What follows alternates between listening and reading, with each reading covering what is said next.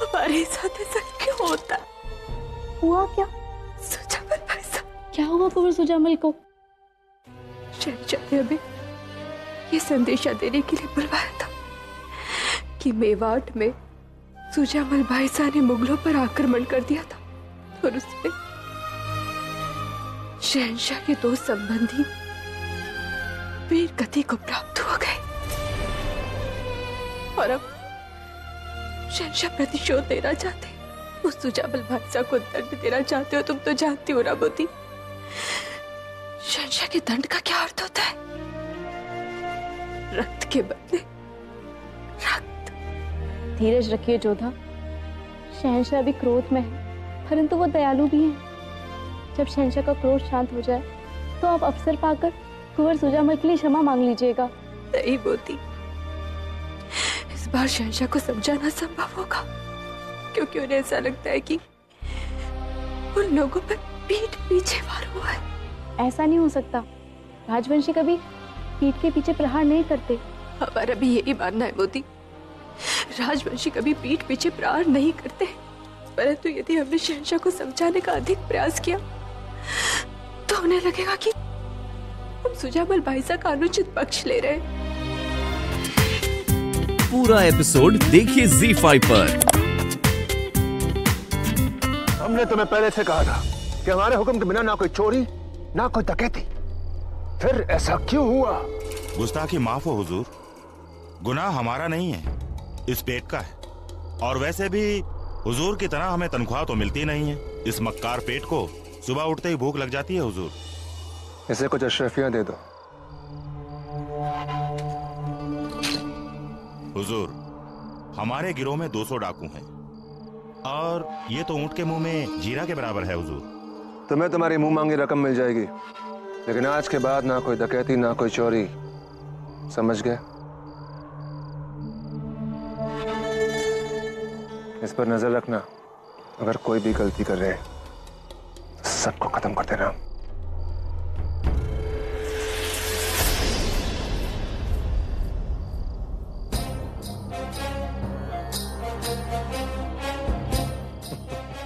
वैसे इस बियाबान जंगल में क्या कर रहे हो आदम? ये सवाल हम आपसे भी पूछ सकते हैं। तो जवाब ये है कि अब हमारे पास कुछ करने को तो है नहीं। तो हमने सोचा क्यों ना अपने पुराने दोस्त की खबर ले ली जाए। लेकिन हमारे पास बहुत काम है शरीफुद्दीन साहब। आप तो ऐसे ही नाकारा घूमते रहोगे क्योंकि मेवात की सूबेदारी आपसे छीन ली गई हम चलते हैं। अलविदा। हाँ वो तो होना ही था। मगर अभी अभी तुमसे मालवा की सूबेदारी छीन कर पीर मोहम्मद को सौंप दी गई है है ना? खामोश! तुम्हारी किस्मत हमारे गुस्से से तेज नहीं है। हम डर गए हुजूर। खुदा के लिए हमें माफ़ कर दीजिए।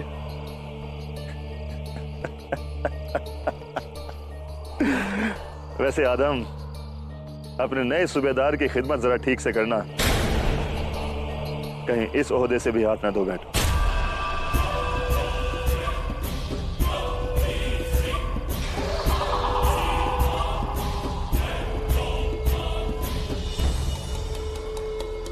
सलाम जोधा बेगम। जी प्रणाम। आइए। स्वागत है आप सबका। हम आपको शुक्रिया अदा करने आए हैं। आखिर आपने इस इंतखाब में खड़े रहने का फैसला ले लिया। हमें आपसे पूरी उम्मीद है कि आप इस हरम को वो जगह बना देंगी जहाँ पे सबके साथ इंसाफ होता हो। या खुदा आज तक कभी ऐसा नहीं हुआ? क्या नहीं हुआ होशियार? आज तक हरम बेगम एक खास के हाथों की कठपुतली था। सालों उन्होंने हरम पर हुकूमत भी की, लेकिन कोई चू भी नहीं कर सका। मगर इस बार बेगमात ने न केवल उनकी मुखालफत की, बल्कि खुलेआम जोधा बेगम का साथ भी दे रही हैं। आप सबने हमारा विश्वास किया, इसके लिए बहुत धन्यवाद। और सच कहें तो ये सब कुछ आप लोगों के सहयोग के कारण ही संभव हो पा रहा है। वरना अकेले तो हम कुछ नहीं कर पाते।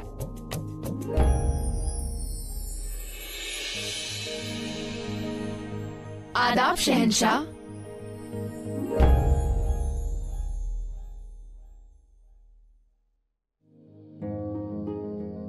प्रणाम शहनशाह।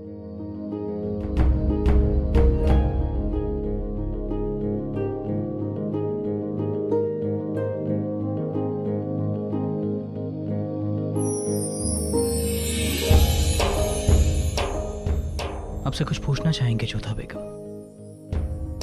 हम जब भी आपसे मुखातिब होते हैं तो आपके होठों पे एक हल्की सी मुस्कुराहट होती है हमें देखकर। लेकिन आज न जाने कहाँ वो गुम सी हो गई है। कहीं ऐसा तो नहीं कि सुजमल के लिए हमारे फरमान को लेकर अब हमसे खफा हैं।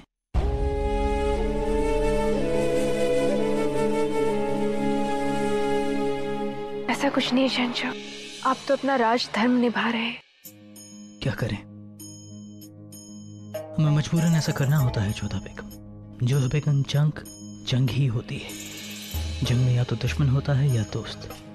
और अब जंग तभी जीती जाती है जब हम अपने दुश्मनों का सर झुकाएँ। हम उम्मीद कर रहे हैं कि आप हमारी बात को समझें क्योंकि हमारे हिसाब से आप भी उसी जंग से गुजर रही हैं। हम कोई युद्ध नहीं लड़ रहे। ये तो हरम के मालकिन अहदेदार का चुनाव मात्र है। हाँ लेकिन शायद जंग से भी बदतर है। कुछ कहा आपने? हम कह रहे थे कि फ़र्ज़ करिए अगर आप रोगया बेगम को शिकस्त दे देती हैं तो फिर उसके बाद क्या जोधा बेगम? क्या होगा? हम हरम संभालेंगे और क्या? हाँ मगर हरम संभालना एक बहुत बड़ी ज़िम्मेदारी है जोधा बेगम। हरम संभालना मतलब आपको हमारी हर सहूलियत का ख्याल रखना होगा। हम कहाँ जा रहे हैं किसके साथ वक्त गुजार रहे हैं? आपको इन सब चीज़ों के इंतज़ाम करने होंगे जोधा बेगम। नहीं शहनशाह हम ये सब कुछ नहीं करेंगे। क्यों? ये तो आपकी ज़िम्मेदारी होगी आपको अपनी ज़िम्मेदारी पूरी करनी होगी। फ़र्ज़ करिए मान लीजिए अगर दो बेगमात हमारे लिए लड़ रही हैं तो आपको फैसला करना होगा कि उनमें से कौन से बेगमात हमारे साथ वक्त गुजारेगी चौदह बेगम। हम हरम को केवल आपके रात्रि निर्धारण के लिए नहीं संभालेंगे शहनशाह अच्छा हमें तो ऐसे ही लगता था। क्या करें रुके बेगम के अख्तियार में हमारी आदत कुछ खराब सी हो गई है चौदह बेगम। हमें लगता था हरम सिर्फ़ हमारे हराम और सहूलियत के लिए है। लेकिन अब शायद सब कुछ बदलने वाला है। क्योंकि अगर किसी बांदी या कनीज ने हमसे बात कर ली या हमारी तरफ़ देख भी लिया तो आप तो उसे सजा दे देंगी चौथा बेगम। अरे हम ऐसा क्यों करेंगे भला? क्योंकि आपको पसंद नहीं है ना कि कोई भी औरत हमारी ओर देखे हमसे बात करे हमारे करीब आए या हमें लुभाने की कोशिश करे। ये किसने कहा आपसे? ऐसा कुछ भी नहीं है। किसी के कहने की ज़रूरत नहीं है जोधा बेगम। बेनजीर के मामले में हमने खुद इस बात को महसूस किया था। आज तक इस हरम में किसी भी हिंदू दासी को पूजा करने की स्वतंत्रता नहीं मिली। परंतु जोधा बेगम ने यह प्रयास प्रारंभ किया। अब हम अपने इष्ट को पूज सकते हैं। धन्यवाद जोधा बेगम। बहुत बहुत धन्यवाद।